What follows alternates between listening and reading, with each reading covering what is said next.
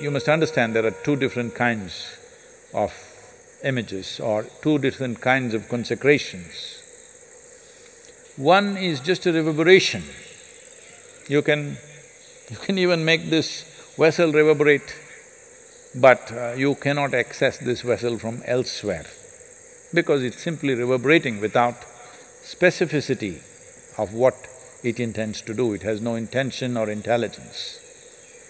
But consecrations which are as complex as the Devi or much more with the Dhyana Linga is, they are not limited by physical space, wherever you are. If your doors are open, it's available.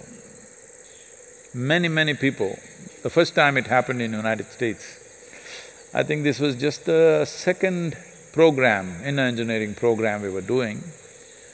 Uh, there was a lady who was involved in all kinds of, uh, you know, whatever, certain type of work from Caribbean islands.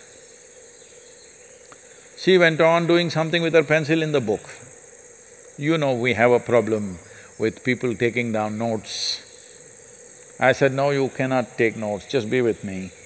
She will be looking at me, not even looking at the book, just looking at me and just doing this with her pencil. Then uh, at the end of the three-hour session, she said, I don't know why this came, something came out of this and this is the thing that, you know, the form that came out of me. I didn't know what happened. As I was looking at you, I was trying to sketch you, but this is what I got. It's a clear proportion of the Dhyana Linga. She just got the image of Dhyana Linga, like she completely… the whole page she scratched with her pencil.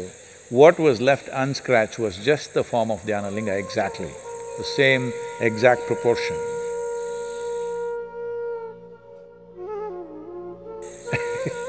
but she was trying to make a picture of me. So I'm telling you, consecrated forms are not limited to its physical space.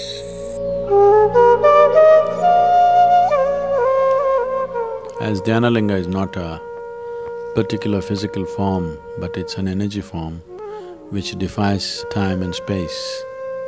So if one is uh, willing, it's available to you wherever you are. But still that may sound very abstract for many of you, so uh, I would say it's best if you've made at least one visit.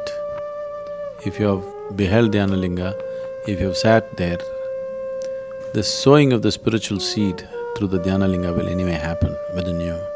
And uh, if you just uh, fix a certain time for yourself, preferably in the morning or evening, and simply sit quietly, the energy of Dhyanalinga will definitely envelop you from within. And if you need some visual help, you can always have an image or a yantra which will give you the necessary support. But all these supports are only because one is psychologically distracted. Otherwise, none of these are needed. The sowing of the spiritual seed that happens by being in the presence will take care of this anyway. But if you need support, you can always have visual…